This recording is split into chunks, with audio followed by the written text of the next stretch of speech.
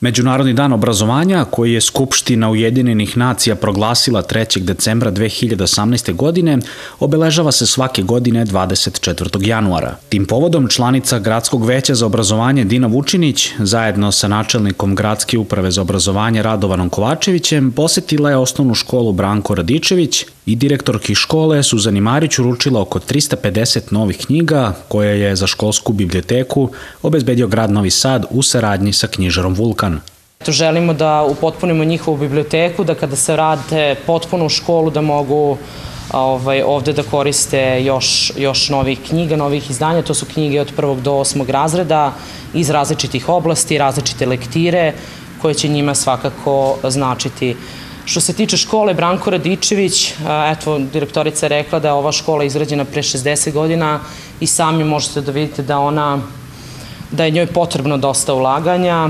Želimo u narednom periodu da se dogovorimo sa direktoricom i sa upravom škole koja će to biti projekti koje će moći da upute prema upravi, odnosno gradu Novom Sadu, gradskom veću i gradonačelniku i koja sredstva bi mogli u najskorijoj budućnosti da opredelimo za ovu školu kako bi započeli rekonstrukciju. Sredstva koje je grad Novi Sad opredelio za upravu za obrazovanje su na nivou prošlogodišnjih, tako da će za rekonstrukcije, to jest nastavak investicionih ulaganja su opredeljena sredstva za završetak škola koje su započete u prethodnom periodu, a za ovu godinu su opredeljena sredstva, rekao sam već, na nivou prošlogodišnjih, to je nekih oko 50 miliona za tekuće održavanje osnovnih škola i oko 20 miliona za tekuće održavanja srednjih škola.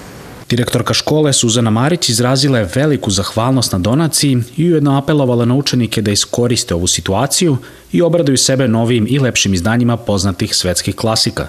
Jako nam znači i veoma smo srećni što smo uh, imali, imamo mogućnost da ponudimo deci i lepša i novija i atraktivnije izdanje, jer znate oni uh, oko okom ovaj, čitaju i vole da vide um, i lepe omote a ovi, ova izdanja deluju zaista veoma atraktivno i bit će na zadovoljstvo svih učesnika i nastavnika kako i učenika. Knjige nisu bila jedina tema, nakon dodele razgovaralo se i o prevenciji vršnjačkog nasilja, kao i o novim infrastrukturnim ulaganjima u 60 godina staru školu.